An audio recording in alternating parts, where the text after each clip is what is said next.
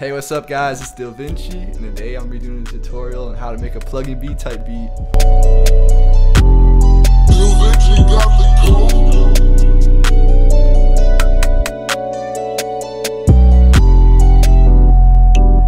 So pluggnb is just like the plug style.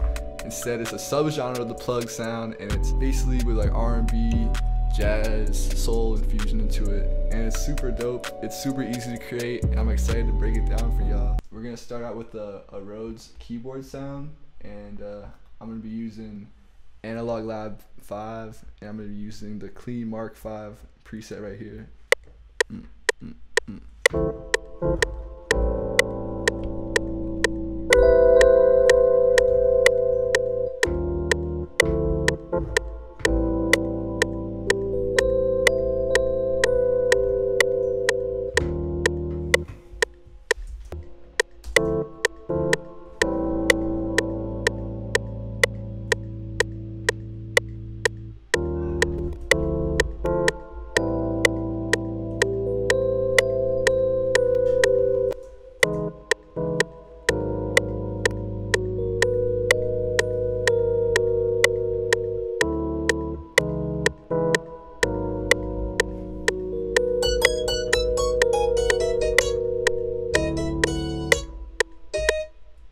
Alright, so now we got the chords. I'm gonna be playing a little lead guitar melody over it to complement it.